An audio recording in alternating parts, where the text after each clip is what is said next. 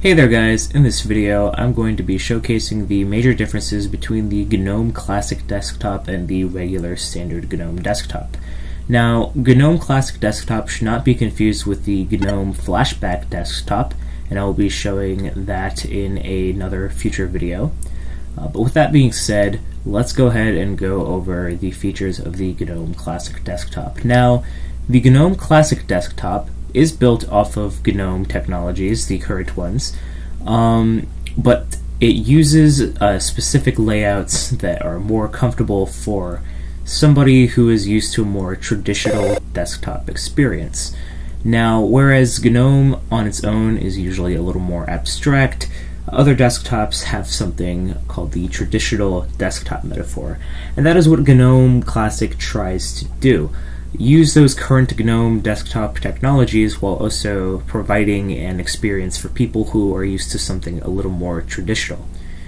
So, when we start using the GNOME Classic Desktop, we are greeted with two panels. Now, on the top panel, we have our Applications menu, and our Applications menu divides our applications into the different types of applications that we have. We also have our Places menu. Our Places menu has shortcuts to uh, our file manager's folders. So if we click on Home, we go to our Home folder. Likewise with Documents, Downloads, etc. Now we also have something. Let's actually open something really quickly here. Let's open Clocks. So if we go to our Clocks and we press on the clock's name, we get some menus for clocks. We can show our details or we can quit just like that. Now on the top right side of the top panel we have our uh, status indicators. We have our microphone, our volume, and our brightness along with the Bluetooth settings, the battery settings, a shortcut to settings, and our power options. This is something that you would just find on your regular standard GNOME desktop. Uh, we also have uh, our notifications center along with our clock, our uh, uh, weather, and our other world clocks that we've added. Um, on our bottom panel, we have the ability to switch our workspaces.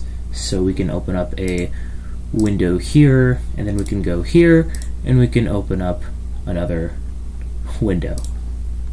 Just like that. Now over here we have our window list where we can open and close our windows. I think we can right click on our windows, yes, and we can close them or maximize them just like so. We can also choose to show and uh, show our activities.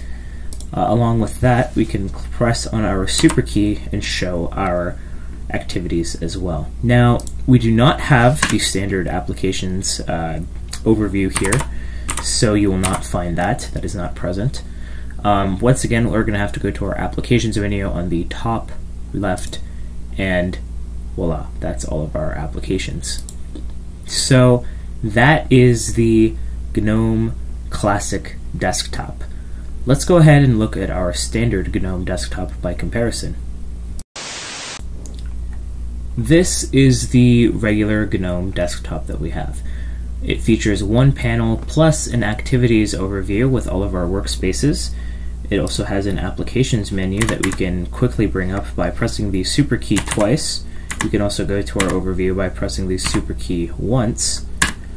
And on the very top with that one panel, we have yet again our power options, our shortcuts to settings, our uh, uh, microphone volume and brightness, we also have our quick Bluetooth settings and our quick battery settings.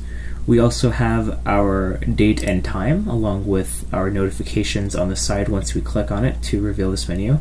We have our calendar, our world clocks, our location, etc. Over here, when we press our Activities button, we are once again greeted with the Workspaces overview. We can also use the hot corner to bring up that overview, and we can also once again click on here to show a tiny little menu. That is the very basic gist of the GNOME desktop.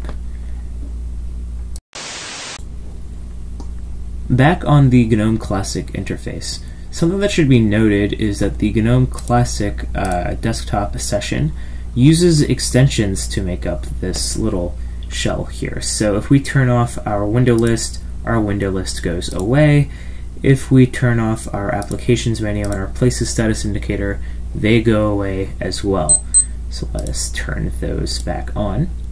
There's a couple of extensions that I would recommend using if you were to use this interface.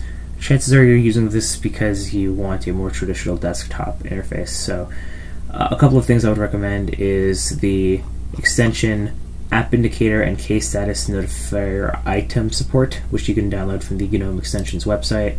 You will have your little uh, application menus on the top. We can close these, we can open these, etc., etc.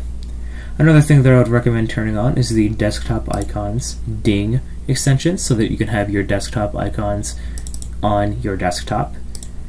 Um, and one last final thing that I would recommend is chances are you want to use a theme that minimizes the borders, uh, the that minimizes the little window borders. So in the description, I will leave a theme that makes it look a little slimmer. If you're not already using a theme that makes them look slimmer. Um, but that is about it for the GNOME Classic session. I hope you enjoyed this video. Stay tuned for the video on GNOME Flashback, and thank you so much for watching. Have a wonderful day.